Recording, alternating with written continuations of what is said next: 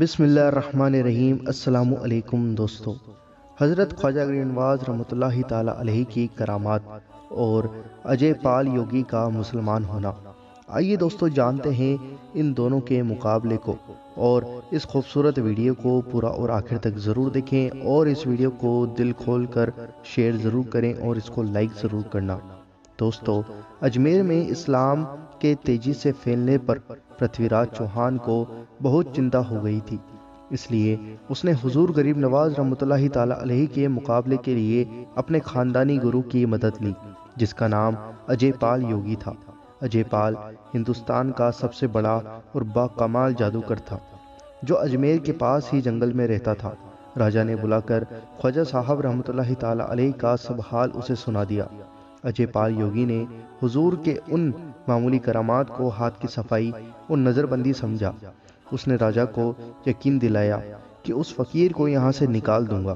مرگ چھال پر بیٹھا اور اپنے سبھی شاگردوں کو ساتھ لے کر اناساگر کی طرف روانہ ہوا۔ وہاں سرکار غریب نواز رحمۃ اللہ تعالی علیہ ٹھہرے ہوئے تھے۔ شیطانوں کا یہ لشکر اڑن شیروں پر سوار ہاتھوں متے اجگروں کے کوڑے لیے ہوئے۔ جنگلیوں کی طرح چلاتے چلاتے اناساگر کے کنارے آ جمع ہوئے۔ حضور غریب نواز رحمۃ اللہ تعالی علیہ کے نئے مسلمان شاگرد اس شیطانی لشکر کو دیکھ کر گھبرا گئے۔ اسی وقت آپ نے اپنی انگلی سے لکیر کھینچ دی اور فرمایا، اس کے باہر نہ جانا، محفوظ رہو گے۔ اجے پال اور اس کے چیلوں نے اپنے ہاتھوں سے جادو کے اجگر چھوڑ دیے۔ جو حضرت کی طرف بہت تیزی سے لپکے، مگر اس لکیر تک آ کر سب کے سب جل گئے۔ اس ترکیب کے ناکام ہونے سے جادوگر نے آگ برسانا شروع کر دیا، مگر اس آگ نے بھی سرکار غریب نواز رحمۃ اللہ تعالی علیہ اور آپ کے ساتھیوں پر کوئی اثر نہیں کیا، بلکہ وہ آگ واپس لوٹ گئی اور اس سے جادوگر ہی جل کر خاک ہونے لگے۔ جب ان کا کوئی کرتب کارگر نہ ہوا تو اجے پال نے طے کیا کہ آسمان پر پہنچ کر وار کیا جائے۔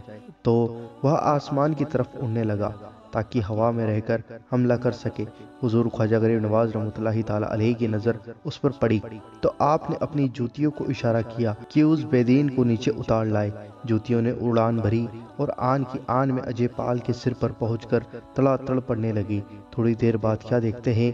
کہ جوتیاں اجے پال کے سر پر مسلط ہیں اور اس کو تڑا تڑ پڑ رہی ہے اور وہ لاچار نیچے اترا چلا آ رہا ہے۔ آخر کار گھمنڈ کا سر نیچے ہوا۔ اجے پال کی آنکھوں سے اب پردے اٹھ چکے تھے اور اس نے سمجھ لیا تھا کہ جادو کرنا بیکار ہے۔ آج تک جادو سیکھنے میں زندگی برباد کی، اس لیے آنکھوں میں آنسو بھر گئے اور معافی مانگی۔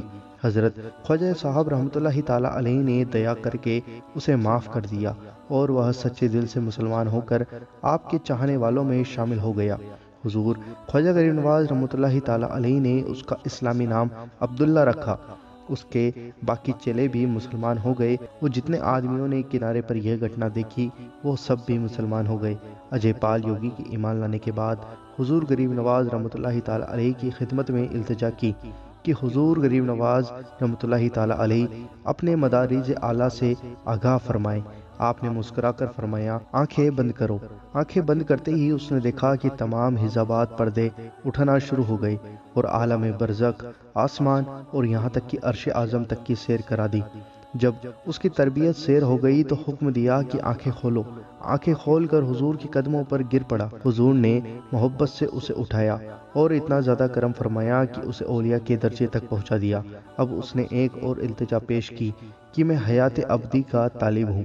حضور نے بارگاہ خداوندی عرض گزاری کی، جس پر شرف قبولیت حاصل ہو گیا۔ کہا جاتا ہے کہ عبداللہ جندہ ہے اور بھولے بھٹکے مسافروں کو راستہ بتاتے ہیں۔ اجمیر اور ان کے آس پاس کے لوگ انہیں عبداللہ بیابانی کے نام سے پکارتے ہیں۔ ناظرین، آپ کو کسی لگی یہ ویڈیو حضرت خواجہ نواز رحمۃ اللہ تعالی علیہ کی کرامات کے بارے میں؟ دوستو، ہمیں کمنٹ کر کے ضرور بتائیں اور آپ کے اور اس ویڈیو کو دل کھول کر زیادہ سے زیادہ ضرور شیئر کریں اور آپ کے اپنے چینل اللہ دین کو ضرور سبسکرائب کریں اور بیل آئیکن ضرور دبائیں ہماری ہر ویڈیو کا نوٹیفیکیشن پانے کے لیے۔